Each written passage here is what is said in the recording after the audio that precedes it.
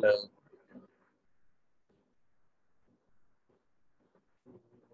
Joined yet?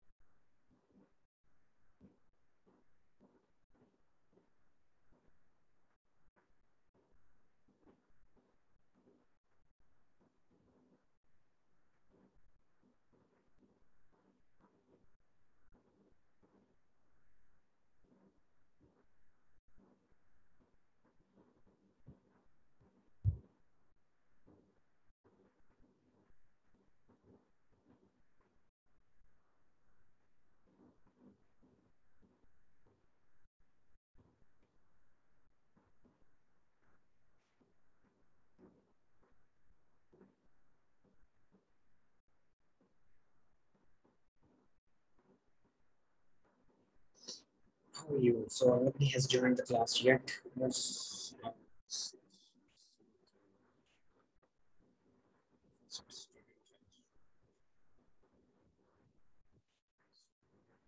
Slowly.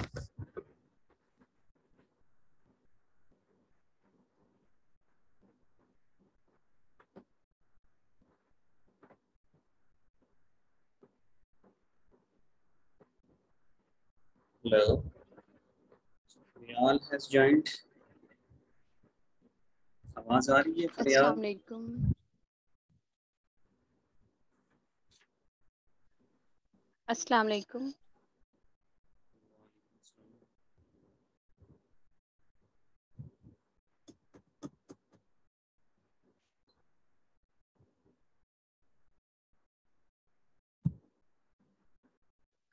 Yes sir आवाज़ आ रही है।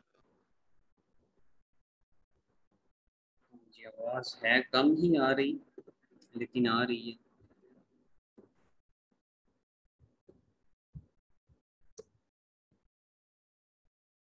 So nobody has joined yet except Faryal. So let's revise the previous points and then we shall move to today's points.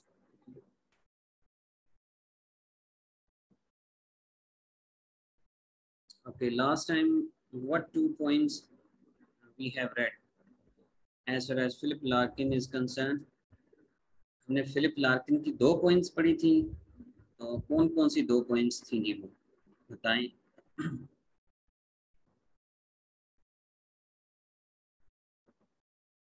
Just going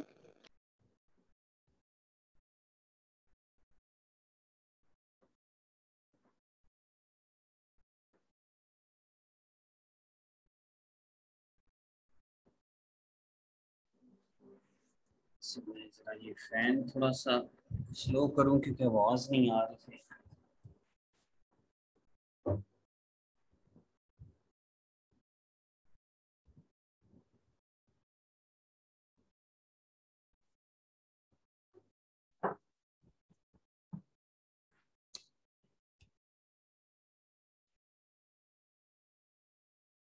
so so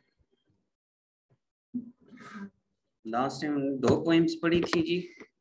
कौन कौन सी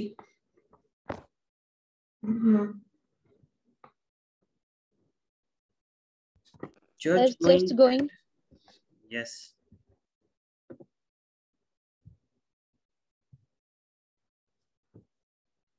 हाँ जी बताएँ church going और दूसरी कौन सी थी? Ancient mariners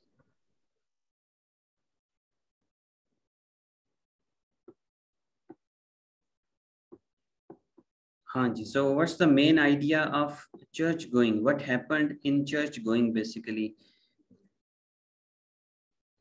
Philip Larkin क्या बताता है चर्च गोइंग के अंदर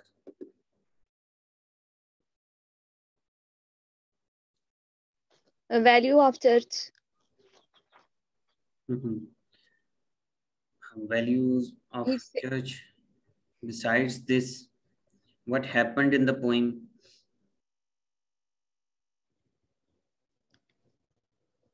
sir वो एक चर्च में जाता है जहाँ पे कोई बंदा नहीं होता बिल्कुल वो एम्प्टी सा होता है. उसके बाद वो वहाँ डिफरेंट चीज़ों को ऑब्ज़र्व करता है फाउंटेन्स के पानी को भी हाथ वगैरह लगाता है फिर छत को देखता है इस तरह और वो उससे ऐसे लगता है जैसे ये बिल्कुल न्यू है या कोई चीज़ रिस्टोर की गई है. Okay, well done. तो वो कहता है कि ये चीज़ शायद इतनी वैल्यू नहीं रखती अब लोगों के लिए शायद बाद में इसे जो है वो यूज़ किया जाए किसी और काम के लिए जैसे शादी ब्याह के लिए। फिर वो बाप्टिज्म वो कहते हैं जो वो एटीट्यूड बता रहे हैं एटीट्यूड टुवर्ड्स रिलीजियस बिलीफ हाँ। जी। हम्म। जी well done so this was basically church going in which Philip Larkin has presented that with the passage of time churches have lost their values. Uh, that in the modern age, people might visit the church, but not for the purpose of uh, having a religious purpose or a, or a sort of uh, spiritual purpose, but they are going to visit the churches uh, just because of uh, entertainment or to attend a festival, or they might attend it to uh, get a sort of charm or to a sort of uh, disease if they have a disease uh, related to their kids so they might visit that church or might it might be the case that their uh, the churches will be full of grasses grass and all these things that nobody will be able to visit the churches And secondly we have read another poem that was दूसरी poem हमने कौन सी पढ़ी थी mister ब्लिनी? हाँ जी mister ब्लिनी। और mister ब्लिनी के अंदर क्या होता है? कौन बताएगा ये पोइम लॉनलीनेस के बारे में। हाँ जी। What happened in the poem? Sir इसमें जो होता है स्पीक सब बोले। नहीं आप बोल लें नहीं नहीं आप बोले ना फिर मैं बाद में कर लेती हूँ अगर मुझे कोई से समझ ना आए पूछ लूँगी आप कर लें Uh, this poem is about wretched, wretched plight of modern man and its pleasures. Loneliness के बारे में है कि modern man के issues और उसके pleasures के बारे में, sense of self के बारे में है. mm-hmm. okay Frial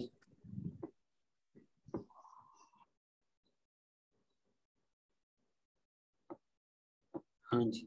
सो मिस्टर ब्लिनी भी एक सेकंड पोएम हमने जो पढ़ी थी। आवाज़ नहीं आ रही शायद सर्विस प्रॉब्लम है उसमें भी यही प्रेजेंट किया गया है कि मॉडर्न एज के अंदर थोड़ी सी हटके के एलियनेशन जो है ठीक है जो एलियनेशन का थीम होता है या सेल्फ सेपरेशन लोग अलग थलग से रह रहे हैं तो सिर्फ़ उसकी जो रहन सहन को देखकर इंसान का पता चला जा सकता है कि उसकी नेचर कैसी है, ठीक है? तो एक मिस्टर ब्लिनी है, जो कि पहले रहता था उस रूम के अंदर, जिस रूम में अब जो स्पीकर ऑफ़ द पोइम है, वो वहाँ पर रहने के लिए आया है, ठीक है? तो वो मुख्तलिफ़ किस्म की चीज़ें वहाँ पर दिखता है जैसे जैसे वो उसके कर्टन्स किस तरह के थे, ठीक है? क्या चीज़ें वो पसंद करता था, ठीक है? गर्मियों की या सर्दियों की छुट्टियों में वो कहाँ पर जाता था, ठीक है? तो सारा उसको उसके मुतलक सिर्फ़ उसके रहन सहन से, सिर्फ़ उसके रूम को देखने से पता चल जाता है, ठीक है? एंड पर वो कहता है कि how we live mayors our on nature कि जैसे हम रहते हैं, इसी से हमारी नेचर का पता चलता है, ठीक है? तो ये हमने दो पॉइंट्स पढ़ी थी फिलिप लार्किन की so now we are going to study the third point and it is M C M X I V ठीक है? तो ये रोमन लैंग्वेज जो है, उसमें ये लिखा हुआ है, ठीक है? ये याद रखना है कि ये रोमन लैंग्वेज में 1914 लिखा हुआ है, ठीक है? रोमन लैंग्वेज में 1914 लिखा हुआ है इसका टाइटल जो है वो M C M X I V है। 1914 में क्या हुआ था? एक बहुत बड़ा इंसिडेंट अगर किसी को याद हो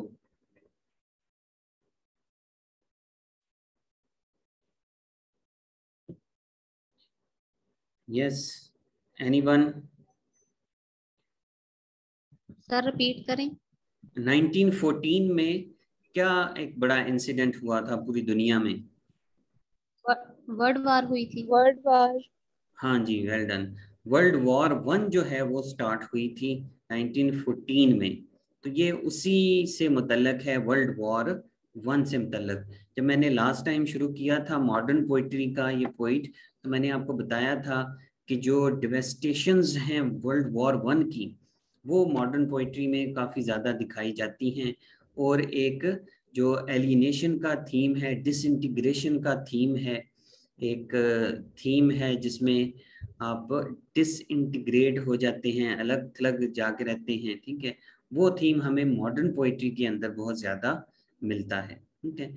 तो इसमें भी वो 1914 जो जंग थी, जंग की सूरत हाल, उसके बारे में बताता है कि कैसे उस वक़्त की सिचुएशन क्या थी, जो लोग थे या जो यंग पीपल थे, वो कैसे एक ओवल पार्क या विला पार्क के बाहर आकर खड़े हुए थे, उनके चेहरे किस तरह के थे और शॉप्स जो थी, वो किस तरह की थी, बच्चे वहाँ पर एक कैसे दिखाई दे रहे थे, ठीक है? और जो कंट्री साइड का था इलाका, वहाँ पर कैसी सिचुएशन थी? और जो अर्बन साइड का इलाका है, वहाँ पर कैसी सिचुएशन थी?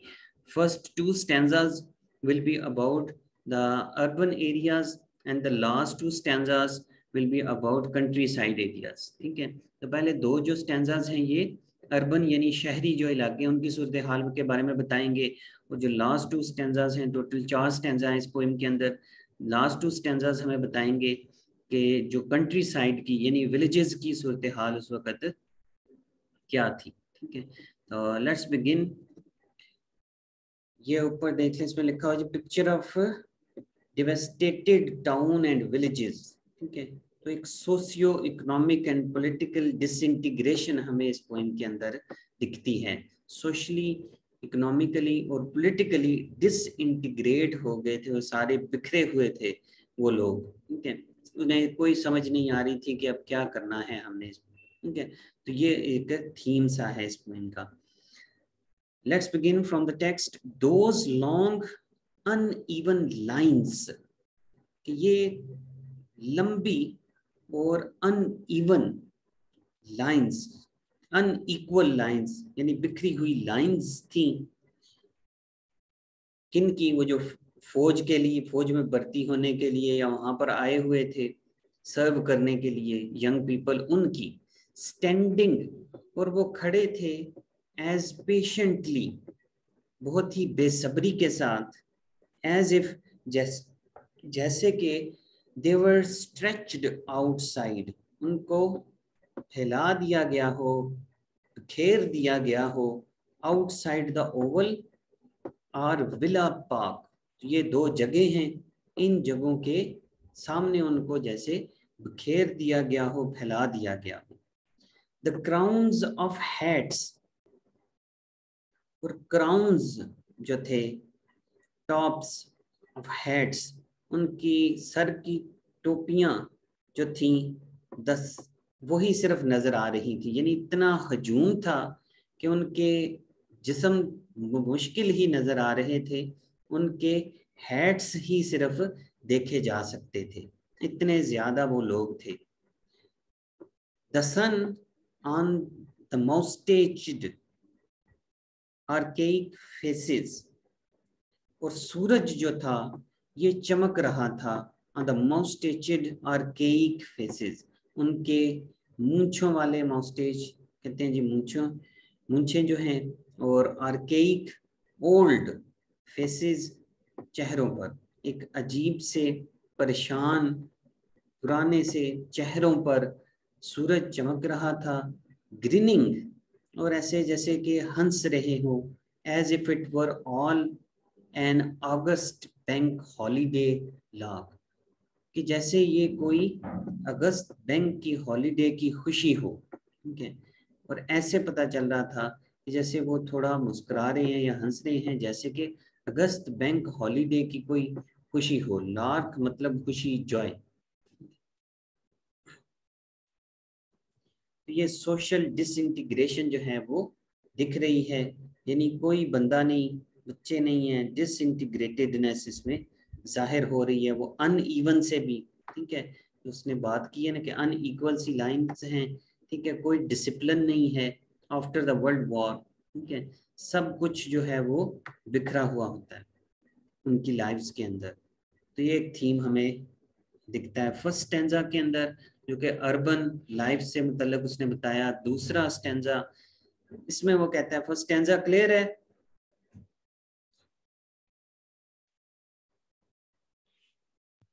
जी sir okay and the shut shops the bleached established names ठीक है और शट शॉप्स यानी दुकानें क्लोज हैं शट हैं, सारी दुकानें बंद हैं the bleached established names bleach यानी उड़े हुए हैं, रंग भी उनके उड़े हुए हैं, established names on the sun blinds ठीक है वो उनके नाम सन ब्लाइंड्स यानी कर्टन्स के ऊपर उन दुकानों के नाम वगैरह भी मिट गए हैं, तकरीबन पुराने हुए हैं, उड़े हुए रंग हैं कर्टन्स के ऊपर नज़र आ रहे, पर्दों पे सन ब्लाइंड्स यानी पर्दों पे नज़र आ रहे हैं।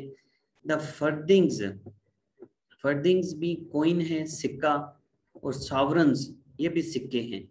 तो सिक्के एंड डार्क क्लॉथ और तारीख क्लॉथ कपड़ों में डार्क अफसुदगी के कपड़ों में चिल्ड्रन, बच्चे हैं एट प्ले जो कि खेल रहे हैं।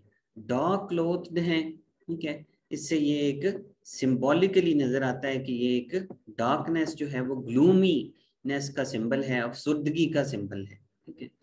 डार्क क्लोथ्ड हैं, चिल्ड्रन, बच्चे एट प्ले जो कि खेल रहे हैं वहाँ पर।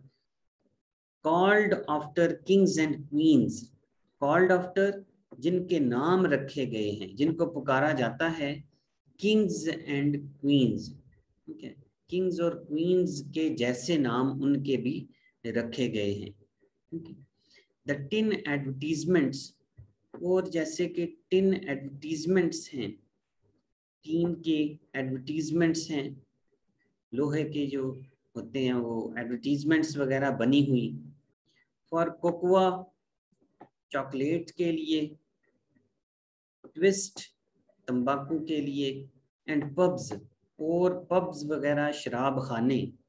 वाइड ओपन ऑल डे ये भी खुले हुए हैं सारा दिन। ऑल डे यानी तमाम दिन ये ओपन है। एंड द कंट्री साइड ये थर्ड स्टैंडा है। इसमें कहते हैं एंड द कंट्री साइड और ये विलेज ऊपर वाले दोनों स्टेंजाज हैं इसके बारे में? अर्बन लाइफ के बारे में। अब ये नीचे वाला थर्ड स्टेंजा जो है, ये होगा विलेज लाइफ के बारे में है? एंड द कंट्री साइड और गाँव नॉट केयरिंग ये परवाह ना करते हुए छुप गए है नॉट केयरिंग उन्हें कोई परवाह नहीं। द प्लेस नेम्स ये स्क्रीन नज़र आ रही है सबको? यस सर ओके सो वो कहता है कि ये जो कंट्री साइड है विलेजेस हैं not caring the place names all hedged over ठीक है? इसके ऊपर भी जितने भी जगहों के नाम थे, वो भी हेज्ड ओवर हो गए हैं, छुप गए हैं विद फ्लावरिंग ग्रासेस ठीक है?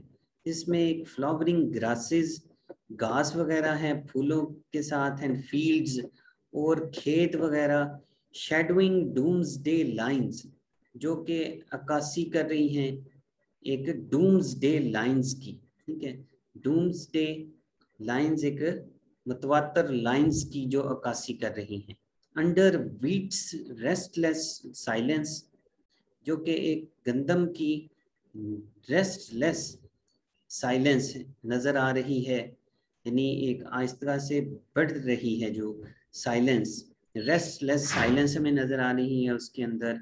द डिफरेंटली ड्रेस्ड सर्वेंट्स एक मुख्तलिफ़ रंग के कपड़े पहने हुए सर्वेंट्स नज़र आ रहे हैं विद टाइनी रूम्स छोटे छोटे कमरों में इन ह्यूज हाउसेस बड़े घरों के छोटे कमरों में डिफरेंटली ड्रेस्ड सर्वेंट्स हमें नज़र आ रहे हैं. द डस्ट बिहाइंड लुमिनस और जो डस्ट लेमोजीन्स हाँ ये है जी लिमोजीन्स डस्ट जो है, वो नज़र आ रही है बिहाइंड के पीछे लेमोजीन्स के। यानी जो कारें वगैरह हैं, वो भी सारी उनमें भी डस्ट नज़र आ रही है गंदी सी हुई भी हैं सारी।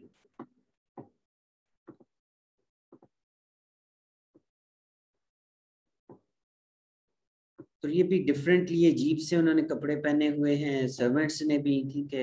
यानी उन्हें कोई समझ नहीं आ रही अब कि किस तरह की ये सिचुएशन है। अब टाइनी रूम्स हैं उनके ह्यूज हाउसेस के ठीक है। यानी अब बड़े बड़े घर के छोटे छोटे कमरे उन्हें नज़र आ रहे हैं और उनकी कारें भी गर्द आलूद हो चुकी हैं। कोई भी इस्तेमाल नहीं कर रहा तो फिर जाहरी बात है कि वो भी गंदी हुई हुई डस्ट से भरपूर कारें उनकी पड़ी हुई हैं। इस सिचुएशन के अंदर जो वॉर की सिचुएशन है, ठीक है? लास्ट स्टेंजा इसमें वो कहता है नेवर सच इनोसेंस कि, कभी भी नहीं ऐसी मासूमियत। नेवर बिफोर इससे पहले कभी भी नहीं और सिंस या अभी तक। यानी इस जैसी मासूमियत इससे पहले कभी भी नहीं देखी गई। ठीक है? यानी ये जो वर्ल्ड वॉर की सिचुएशन है, ठीक है? इस जैसी सिचुएशन पहले कभी भी माजी में नहीं दी, देखी गई as changed itself to past without a word यानी बिना लफ्ज बोले, जिसने अपनी माजी को बदल दिया है. Change itself to past without a word ऐसी सिचुएशन है कि बिना कोई लफ्ज बोले ही हमने अपने माजी को बदल दिया है. The man leaving the gardens tidy और आदमी जो हैं, ये लीविंग छोड़ रहे हैं द गार्डन्स गार्डन्स को टिडी खाली छोड़ रहे हैं द थाउजेंड्स ऑफ़ मैरिजेस और हज़ारों शादियाँ लास्टिंग अ लिटल जो कि थोड़ी देर ही कायम रही while longer never such innocence again ठीक है, कि लिटिल वाइल लॉन्गर यानी वो जो शादियाँ हुई थी, उनके हस्बैंड्स वगैरह भी चले गए वॉर पे, और वॉर पे फिर उनकी डेथ हो गई। तो वो शादियाँ भी इतनी ज़्यादा देर तक नहीं रही, ठीक है? थाउजेंड्स ऑफ़ मैरिजेस जो थी, यानी डेथ्स पर इतनी ज़्यादा हुई तो वो भी कोई शादियाँ लॉस्ट लॉन्गर ना हुई। नेवर सच इनोसेंस कहता है सी इनोसेंस अगेन फिर दोबारा कभी भी नहीं आएगी। नेवर सच इनोसेंस ऐसी जो इनोसेंस है, वो दोबारा कभी भी नहीं आएगी। हालाँकि ये दोबारा वर्ल्ड वॉर टू में आ गई थी, ठीक है? वर्ल्ड वॉर जब टू हुई तो ठीक है? तो एक किस्म की ये वाली लाइन जो है लास्ट लाइन ये एक आयरोनिक लाइन हो सकती है, हम इसको कह सकते हैं। कि नेवर सच इनोसेंस अगेन ऐसी इनोसेंस दोबारा कभी नहीं दिखी तो वो दोबारा भी दिखी, ठीक है? वर्ल्ड वॉर टू के अंदर। तो ये एक पोइम है जो सारी वर्ल्ड वॉर से रिलेटेड है, ठीक है? इसमें कोई चीज़ समझ नहीं आई तो पूछ लें।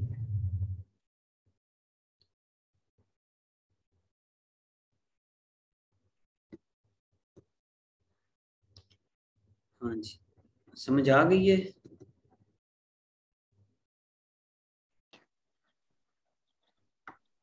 यस सर तो इजी सी ही पोइम है, बस ये आपने एक दफ़ा देख लेना है, इसको अच्छे तरीके से पढ़ लेना है। M C M X I V एक रोमन टाइटल है, ठीक है 1914 में एक दफ़ा इसको रिपीट कर देता हूँ। Picture of devastated towns and villages socio economic and political disintegration है इस पोइम के अंदर, दिखती।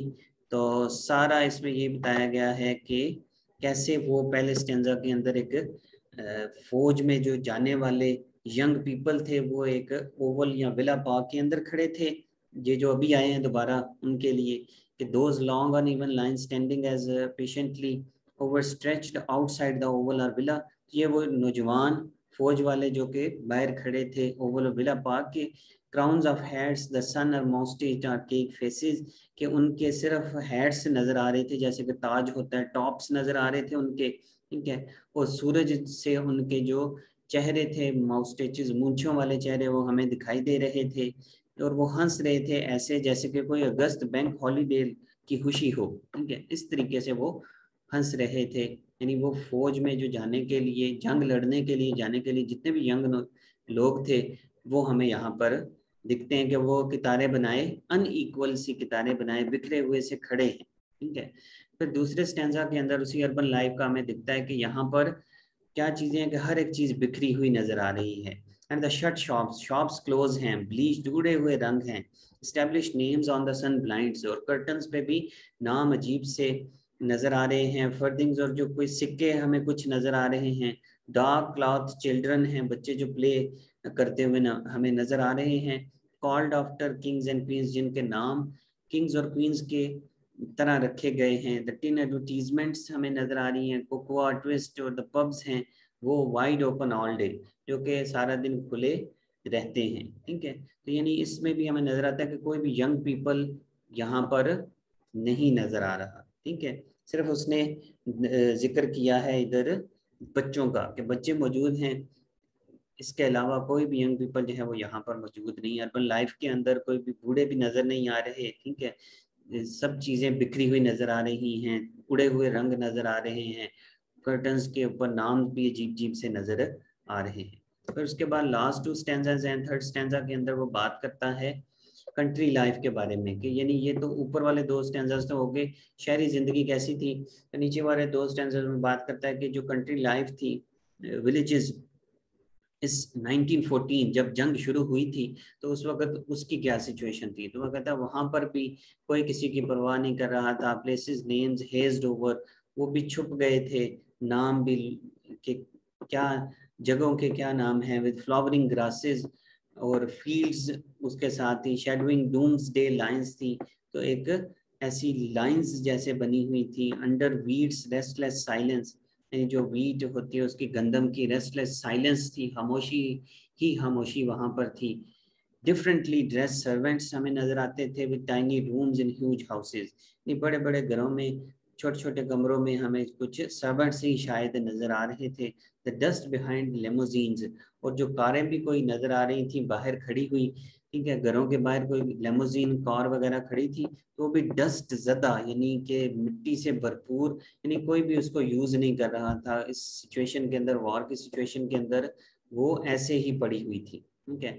फिर लास्ट स्टेंजा जो है, उसमें वो कहता है कि never such innocence never before or since कहता है, ऐसी इनोसेंस ऐसी मासूमियत मैंने पहले कभी नहीं देखी। इस वॉर की सिचुएशन से पहले 1914 में जब वर्ल्ड वॉर वन शुरू हुई तो इससे पहले हमने ऐसी सिचुएशन कभी नहीं देखी नॉर बिफोर और सिंस इससे पहले भी कभी नहीं और अभी तक कभी नहीं देखी। As change itself to pass without a word जिसने बिना लफज बोले हमारे माजी को बदल दिया है। ठीक है the man living the garden tidy और जो आदमी हैं, उन्होंने अपने गार्डन्स को भी टिडी खाली छोड़ दिया है। Thousands of marriages lasting little while longer जो थाउजेंड्स ऑफ़ हज़ारों शादियाँ हैं वो भी जो है वो लास्टिंग लिटिल वाइल लॉन्गर वो भी थोड़ी देर ही रही हैं, क्योंकि उनके हस्बैंड्स भी सारे यंग पीपल जो है वो उनको फौज में जाना पड़ा और वो ज़्यादातर तो मर गए।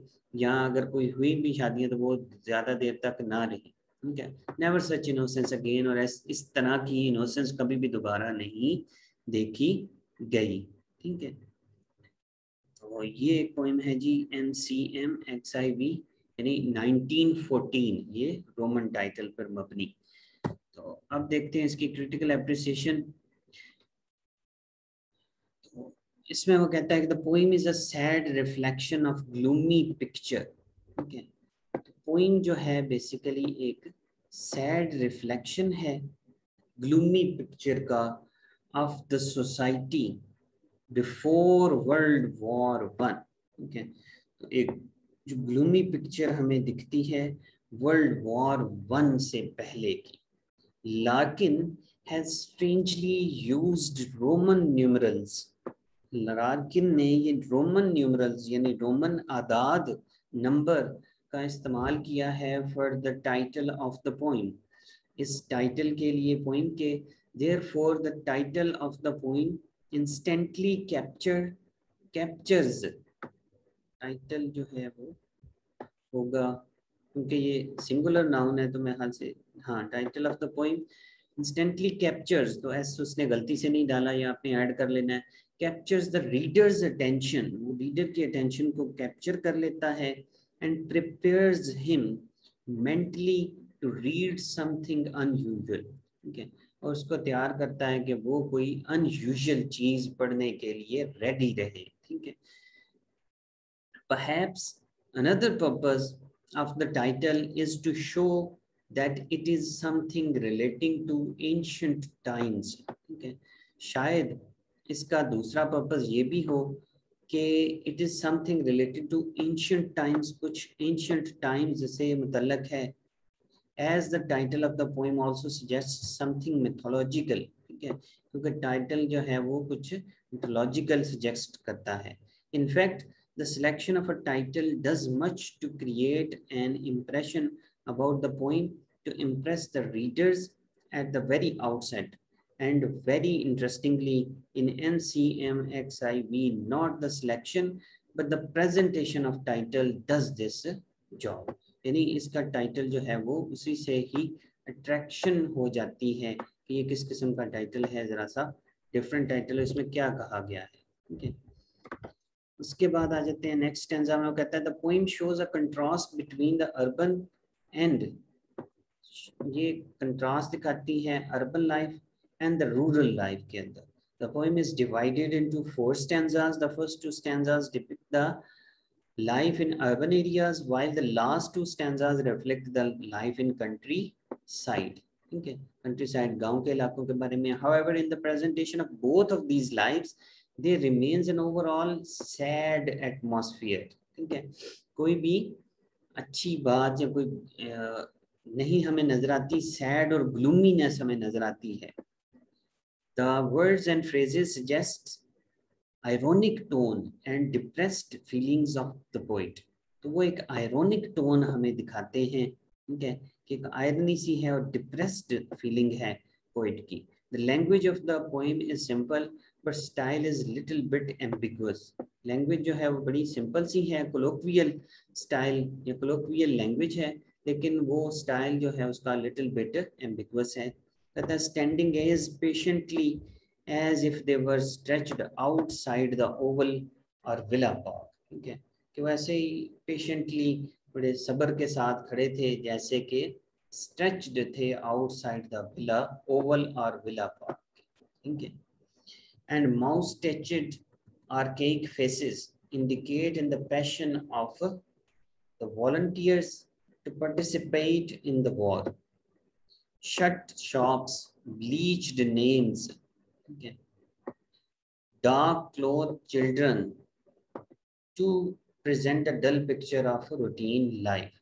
There is a marked tinge. Tinge कहते हैं जी एक कलर एक थोड़ा सी झलक हमें नजर आती है सैडनेस की the description of urban and rural life the man leaving the garden tidy उनको खाली छोड़ा हुआ गार्डन्स को भी means that most of the people have migrated to countryside whilst they are gone there is no one to take care of their gardens okay. the long uneven lines standing patiently shows the volunteers soldiers before the war they are waiting to participate and in this way their marriages are coming to an end because of their death in the war okay क्योंकि उनकी marriages वो war पे चले गए हैं तो उनकी marriages भी खत्म होने को जा रही हैं ठीक है तो एक छोटी सी है वैसे तो करंट वाली बुक के अंदर ठीक है लेकिन अगर कोई क्रिटिकल अप्रिसिएशन आए इस पोइम के बारे में तो वो फिर आपने काफ़ी ज़्यादा, पता है, जो आपने लॉन्ग आंसर लिखना होता है, वो तो एटलीस्ट आपने सिक्स टू एट पेजेस अच्छा खासा वर्ड्स लिखने होते हैं, ठीक है? वो फिर आपने सर्च कर लेना है, लेकिन ज़्यादातर जो है वो पास पेपर्स में आपने गेस करना है कि क्या ये इस तरह की पॉइंट्स की क्रिटिकल अप्रिसिएशन आती भी है या नहीं, ठीक है? तो उसमें देखें तो ज़्यादातर एक दो क्वेश्चन इसके आए हुए थे एज अ मॉडर्न पोइट के तौर पे, जो कि आगे जाके हम इसको पढ़ेंगे। तो ये अलबत्ता एक शॉर्ट क्वेश्चन के तौर पे आ सकती हैं, ठीक है? जो सरगोदा यूनिवर्सिटी वाले हैं, दूसरे जो पंजाब यूनिवर्सिटी वाले हैं, उनके लिए तो वैसे भी ये रेफरेंस टू द में इम्पोर्टेंट पोइम्स के तौर पर वहाँ पर आ सकती हैं, ठीक है? तो ये हो गई हमारी 1914 पोइम नेक्स्ट पोइम है एम्बुलेंसेस ठीक है? तो ये ख़त्म होने लगा है, मेरे ख्याल से सेवन मिनट्स हैं अभी। तो उसमें देख लेते हैं एक आध स्टेंजा कर लेते हैं इसका फिर उसके बाद नेक्स्ट जो है वो मीटिंग अगर ये क्लोज हो जाती है तो फिर नेक्स्ट मीटिंग में हम शुरू करेंगे ठीक है? ओके समझ आ गई ऊपर वाले क्रिटिकल एप्रिसिएशन की सबको? Yes sir yes sir okay so next आ जाए अभी वो कह रहा है कि एम्बुलेंसेस एंबुलेंस इमरजेंसी का सिंबल है एक्सीडेंट का सिंबल है और डिज़ीज़ का सिंबल है और टू सम एक्सटेंट डेथ का भी सिंबल है, ठीक है? या जर्नी टूवर्ड्स डेथ का सिंबल हो सकता है एम्बुलेंसेस जो है, ठीक है? अच्छा तो अब इसमें होता क्या है कि वो बताता है कि एम्बुलेंसेस कैसे आती हैं? ये कन्फेशनल क्लोज्ड लाइक कन्फेशनल जैसे कि वो चर्च के अंदर कन्फेशंस करते हैं जाकर लोग उस वो एक कमरा होता है बंद कमरा उसी तरह की ये ये भी होती हैं और ये बाज़ारों में से गुजरती हुई जाती हैं। इनके कलर बड़े चमकदार से होते हैं और हर गली के हर किनारे पर ये एम्बुलेंसेस जो हैं वो विज़िट करती हैं। जहाँ पर फिर वो रोड पर जाती हैं कहीं पे बच्चे जो है वो बिखरे हुए इधर उधर नज़र आते हैं। कुछ वुमेन जो है औरतें कहीं से अपनी शॉपिंग वगैरह कर, करके आ रही हैं ठीक है? और जी कुछ डिनर से लोग आ रहे हैं, ठीक है? और वाइट फेसेस जो है वो नज़र आते हैं उनको जब इसके अंदर तो इसके अंदर एक स्ट्रेचर सा होता है स्ट्रेचर के ऊपर एम्बुलेंसेस के अंदर और ब्लैंकेट के अंदर उसको रखा जाता है किसी को पैक करके, जैसे कोई कोई मरीज़ वगैरह हो तो उसको रखते हैं उसके अंदर। और फिर वो कहता है कि ये लोग जब इसको देखते हैं तो उनको अपनी ज़िंदगी सारी याद आ जाती है कि कैसे उनको इन, इसको देख कर मरीज़ को देख कर बड़ा तरस आता है शुरू तरस आना शुरू हो जाता है और वो समझ जाते हैं कि हम तो जो अपने पर्पज़ हमने बनाए हुए हैं कि हम ये अचीव करना चाहते हैं, ये और वो हासिल करना चाहते हैं तो ये तो सारे बेमैनी से हो जाते हैं, ठीक है? और जब वो देखता है, जब वो सारे लोग देखते हैं तो उन्हें अपनी जो लाइफ की मीनिंगलेसनेस है उसके बारे में उन्हें अंदाज़ा होता है। ठीक है, कि ये सारा कुछ हम जिसे परमानेंट तस्वर कर रहे हैं, ये सब कुछ आर्जी है, ठीक है?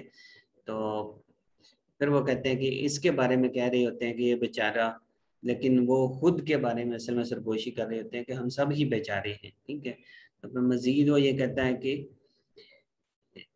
हाँ कि एंड पर जाकर वो सारे क्लोज हो जाते हैं डज टू डिस्टेंस के अंदर, यानी सब रिश्ते जितने भी उसके होते हैं, उस पेशेंट के, ठीक है, वो सारे ख़त्म हो जाते हैं दुनिया के साथ, ठीक है, और वो अपने आखिरी सफ़र की तरफ़ निकल पड़ता है, ठीक है। तो ये एक पोइम है एम्बुलेंसेस ठीक है, इसकी स्टडी करते हैं जी टेक्स्ट को। क्लोज्ड लाइक कन्फेशनल्स ये बंद है, बंद होती हैं ये एम्बुलेंसेस लाइक कन्फेशनल्स जैसे कि कन्फेशनल्स होते हैं। चर्च के अंदर एक रूम होता है, जिसके अंदर पादरी जो है वो लोगों के कन्फेशंस सुनता है, ठीक है? लिखा भी हुआ वो कमरे जहाँ पादरी के पास जाकर कन्फेशन करते हैं गुनाह का। यानी वो एतराफ़ करते हैं अपने गुनाह का कि मैंने ये गुनाह किया है, ठीक है? तो क्लोज लाइक कन्फेशनल्स वो बंद कमरों की तरह कन्फेशनल्स के दे थ्रेड थ्रेड होता है वो तेज़ी से निकलना रश में से जाना। थ्रेड वो जाती हैं लाउड नोन्स ठीक है लाउड ऊँची आवाज़ के साथ या लाउड जब दोपहर जो है वो शोर होता है दोपहर को उस वक्त सिटीज़ में से। Giving back none of the glances they absorb और पीछे एक झलक भी ना देखे हुए। दे अब्जॉर्ब जो भी उन्होंने देखा, उसको पीछे मुड़े बगैर वो निकलती जाती हैं, रश में से जैसे निकलते जाती हैं। लाइट ग्लॉसी ग्रे जैसे कि चमकदार ग्रे रंग की हों, सुरमई रंग की चमकदार होती हैं लाइट ग्लॉसी ग्रे होती हैं। आर्म्स ऑन अ प्लेग और आर्म्स किसी आरइशी तख्ते की तरह प्लेग उनके ऊपर होते हैं एम्बुलेंसेस के ऊपर। They come to rest at any curve और वो आती हैं किसी भी किनारे पर आके रुक जाती हैं रेस्ट करती हैं, किसी भी किनारे पर आकर फुटपाथ के किसी भी किनारे पर आकर रुक सकती हैं। All streets in time are visited वो तमाम स्ट्रीट्स जो हैं वो इस दौरान वो विज़िट कर लेती हैं। ये एम्बुलेंसेस तमाम स्ट्रीट्स जो हैं वो उस टाइम विज़िट कर लेती हैं। देन फिर childrens tune on steps on roads फिर बच्चे जो है स्ट्यून जो कि बिखरे हुए होते हैं ऑन स्टेप्स ठीक है? और रोड्स दरवाज़ों पे या रोड पर। और विमेन या औरतें कमिंग फ्रॉम द शॉप्स जो कि आ रही होती हैं शॉप से past smells of different dinners जिसमें से खुशबू आ रही होती है, शायद वो डिनर्स वगैरह करके आ रही होती हैं, मुख्तलिफ़ डिनर से सी अ वाइल्ड फेस वो देखती हैं एक वाइट फेस एक ब्लड लेस फेस जो भी मरने को जा रहा होता है तो या तो उसका खून वगैरह बह गया होता है, या वो ब्लड लेस फेस होता है, उसका वाइट फेस होता है, ठीक है? दैट ओवर टॉप्स जो उन सारे चेहरों पे सबकत ले जाता है सबसे ज़्यादा इम्पोर्टेंट चेहरा वो हो जाता है जो कि वाइट फेस होता है, जो कि एंबुलेंस में अब जाने लगा है, जो मरीज़ का चेहरा होता है। रेड स्ट्रेचर फिर उसके अंदर एंबुलेंस के अंदर एक रेड स्ट्रेचर होती है, ठीक है?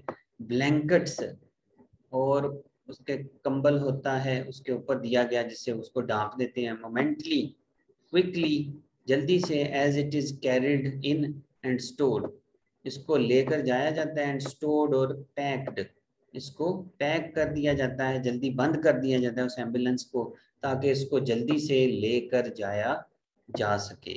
ठीक है? ये दो स्टेंजास हैं तो वन मिनट रह गया, उसके बाद फिर हम दोबारा मीटिंग शुरू करते हैं उसमें थर्ड स्टैंडा जो है एम्बुलेंसेज का उससे शुरू करें। ठीक है? फ़र्स्ट टू स्टेंजास की समझ आ गई है? Yes sir so